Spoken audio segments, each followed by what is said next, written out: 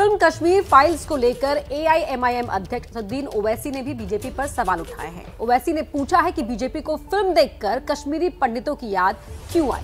देखिए ABP news के खास शो इंडिया चाहता में संपादक सुमित अवस्थी से ओवैसी की खास बातचीत। मेरे साथ मौजूद हैं एआईएमआईएम के चीफ सांसद है हमारे साथ लोकसभा के असदुद्दीन ओवैसी साहब। साहब बहुत बहुत शुक्रिया धन्यवाद बात करने के लिए असद भाई। आ, मैं शुरुआत करना चाहूँगा आपकी इजाज़त से। कश्मीर फाइल्स को लेकर जो कंट्रोवर्सी देश में छिड़ी हुई है, आपको लगता है कि इसके लिए कश्मीर से जो माइग्रेशन हुआ अस्सी और नब्बे के दशक में, उसके लिए सिर्फ़ और सिर्फ़ हिंदुओं के साथ प्रताड़ना हुई, जो कहा जा रहा है? देखिए सुमित साहब, मैं आपको बताना चाह रहा हूँ कि कितने कश्मीरी पंडित मारे गए कितनों का वहाँ से माइग्रेशन हुआ? मैंने लोकसभा में खड़े होकर ये कहा कि सात साल से मोदी सरकार है, वो क्यों नहीं एक इंडिपेंडेंट कमीशन बना देती, जो इन तमाम चीज़ों का नोट ले और अपने रिकमेंडेशन दे।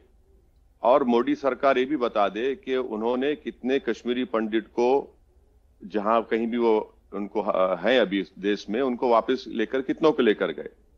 तीसरी बात यह है कि जब आप एक समुदाय की आप बात कर रहे हैं सवाल में तो मेरा मानना यह है कि डोडा, बदरवार, पूंछ में भी 1500 नॉन पंडित कश्मीरी हिंदू मारे गए थे।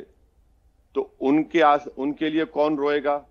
उनके इंसाफ की बात कौन करेगा?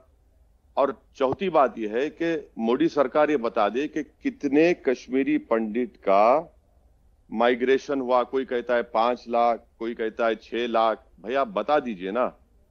और ये उसमें एक और बात, क्या ये बात सच नहीं है कि जो हमारे कश्मीर में, जो हमारा भारत का टूट हिस्सा है, जो बॉर्डर लगता है ऑक्यूपाइड कश्मीर का, कितने गाँव उस वक्त खाली हुए?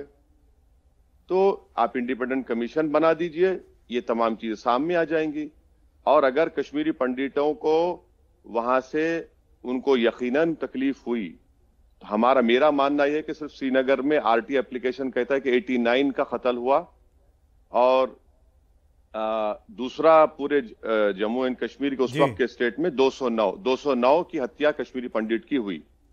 तो आप इसको बताइए आप इंडिपेंडेंट कमीशन बना दीजिए। कौन रोक रहा है आपको? सरकार आपकी है इंक्वायरी कमीशन एक्ट के तहत बना दीजिए ताकि तमाम चीज़ें सच सामने आ जाए दूध का दूध हो जाए पानी का पानी हो जाए।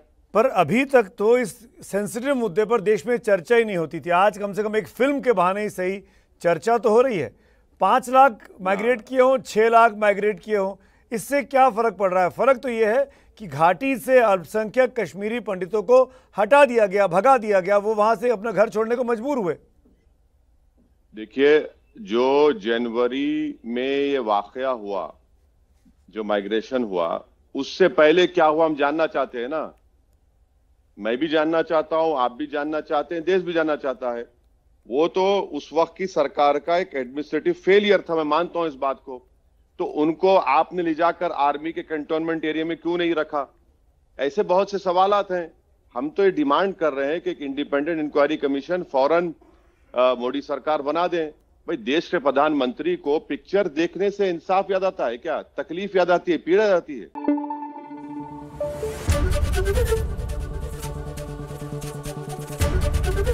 ABP News. आपको रखे आगे।